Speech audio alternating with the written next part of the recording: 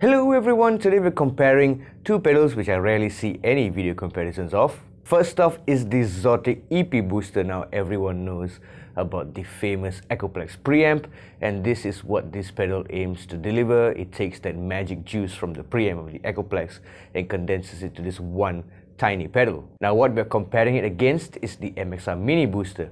Now the Mini Booster is an interesting pedal. It is combining the Dunlop Echoplex preamp as well as the MXR Micro Amp Booster. Now the EP Booster is just a single knob pedal on the front. However, inside there are two dip switches. One is to add a 3 dB gain boost and the other one is to roll off the high end. With the MXR Mini Booster, you have a volume and a tone on the front, and there is an internal trim pot which you can adjust the amount of gain that the pedal provides. So in that sense, the EP Booster has a dip switch to add gain, and with the MXR Mini Booster, you have an internal trim pot instead. So for the entire demo, I'm going to leave the internal trim pot where it's set with the MXR Mini Booster. And with the EP Booster, I'll be starting with the 3 dB gain off. And you'll watch me add it to taste to just kind of hear what does the pedal do different with the dip switches engaged. So we're going to compare these pedals two ways. We're going to try it in front of the amp first, followed by the effects loop after that. And through the front of the amp, we're going to test it through a clean channel. And with the effects loop, we're going to try it with both clean as well as distorted channels. I'm using my Fender Telecaster, going into each of these pedals into a Hughes & Kettner Tubemeister Deluxe 20.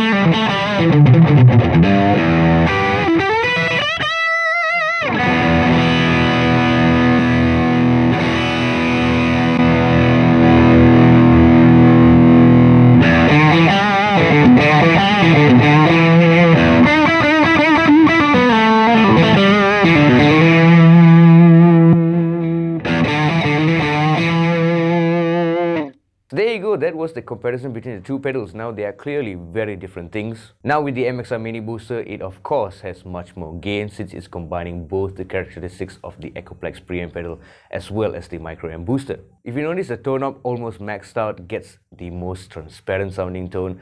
So in that sense that the tone up is always rolling off high end. The Echoplex is delivering more of that magic EQ setting so to say. It's providing a bit more depth to the tone, a bit more warmth. It brings out more low end out of a twangy instrument. So to make your choice, you gotta know what you want to achieve with your booster pedals, whether you want the Echoplex preamp purely for that color of your tone, that specific low end added to your tone and depth and warmth, or you would like more gain on tap in which the MXR Mini Booster will be for you. But one more point to take note is that with the EP booster, you can actually fit a 9 volt battery into the pedal. Let us know what you think about the tones achieved here today. Leave a comment down below. I have a couple more videos comparing boost pedals, so you can check out the EP booster being compared with the Spark Booster Mini.